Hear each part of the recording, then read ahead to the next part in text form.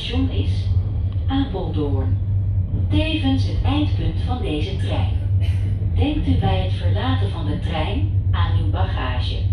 Reist u met de OV-chipkaart, vergeet dan niet uit te checken. Station Apeldoorn.